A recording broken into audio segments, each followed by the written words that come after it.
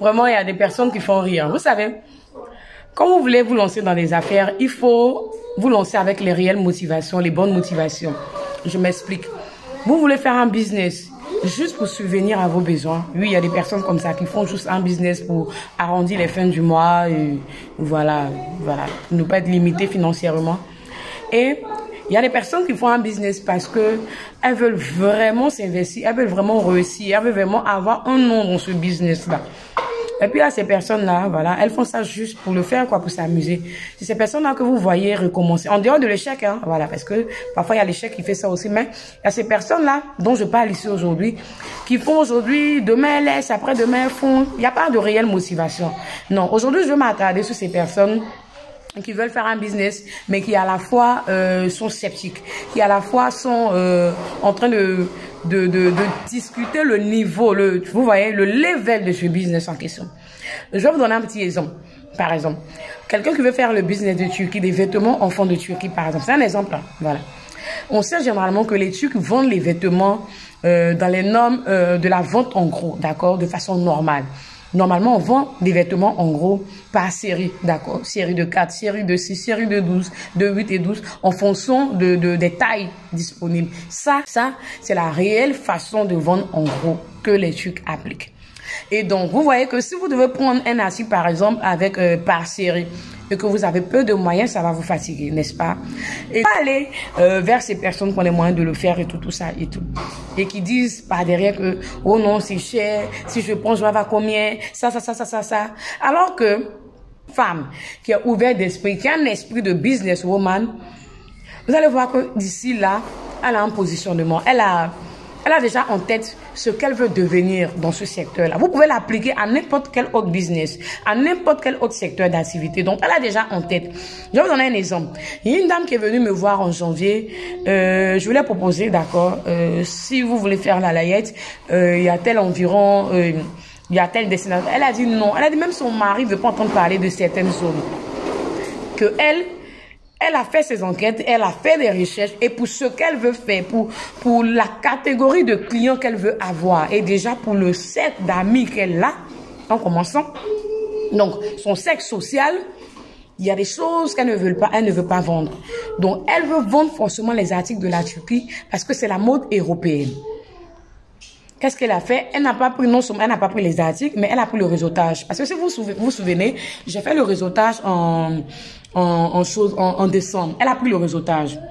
Je vais te donner cet exemple-là pour vous montrer quelque chose. Vous voyez, elle n'est pas venue, cette dame n'est pas venue avec cette idée de si je paye ça là-bas, quand j'envoie le transport, ça sera ceci, ça sera cela. Non.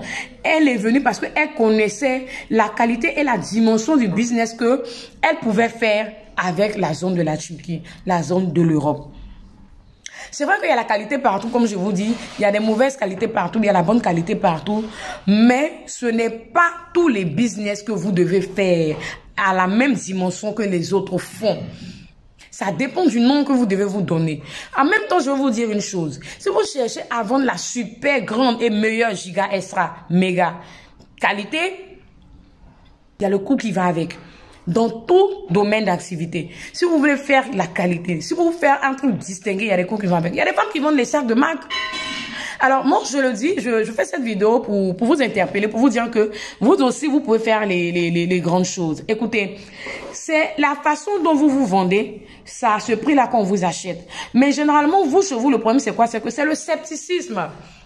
Chez vous, c'est le scepticisme. C'est-à-dire que vous n'osez même pas vous lancer. C'est-à-dire que vous n'osez même pas prendre le risque de vous lancer dans des choses de qualité, dans des choses de distinction. C'est-à-dire qu'à vous entendre parler, à vous, à causer avec vous, à avoir vos réactions dans certaines choses, on a comme l'impression que vous êtes toujours, c'est-à-dire que c'est vous qui calculez dans la poche des clients. Ça, ça ne se fait pas. C'est vous qui choisissez ce qui vous plaît pour vendre. Si ce n'est pas vous qui choisissez ce qui vous plaît pour vendre, c'est vous qui calculez dans la poche du client en ce que telle chose est chère. Il y a un de mes élèves qui est en, en Europe, qui voulait vendre, l'un de mes derniers élèves, mon mentoré homme, qui voulait vendre les vêtements enfants. Non, non, non, il a pris euh, la formation et il m'a dit, on était déjà euh, dans le mois de septembre, il m'a dit, coach, euh, je vais envoyer tel article. Mais vu que c'est la rentrée, j'ai un peu peur, est-ce que ça va cartonner? Je lui ai dit deux choses. Je lui ai dit, les gens n'ont pas les mêmes problèmes. Et la deuxième chose que je lui ai dit, je lui ai dit, ne calcule pas dans la poche du client. Les gens n'ont pas les mêmes problèmes, ne calcule pas dans la poche du client et c'est ce que je te ramène à toi aujourd'hui. Donc que ton business ne soit pas conditionné parce que les gens vont penser, parce, parce que c'est cher, les gens n'ont pas l'argent. Mais dis-toi que tu veux devenir une femme d'affaires pour ressembler à X, pour être comme X dans tel domaine. Les gens qui se font un nom dans un secteur d'activité ne sont pas ceux-là qui viennent calculer sur le terrain qu'est-ce qui va se passer, comment ils vont prendre mon produit. C'est des gens qui ont confiance en eux, qui distinguent la catégorie des business qu'ils veulent faire et ils viennent s'imposer sur le marché. C'est comme ça que vous allez tout rafler. Et puis, on va vous dire, on va citer un secteur d'activité dans la restauration, on va dire, oui, celle-là, elle est dans la restauration, c'est une dure. Quand on va citer un secteur d'activité dans le, dans, le, dans le domaine textile, ils vont dire, oui, celle-là, c'est une dure. Mais vous faites toujours des activités pour, pour raser les murs, pour cest que, et puis on vous confond avec monsieur tout le monde. En 2023, arrêtez ça, hein. Allez-y, level up. Level up. Faites des choses de distinction. Faites des choses où quand on parle du domaine d'activité, là, on cite votre nom. Vous méritez ça aussi, hein?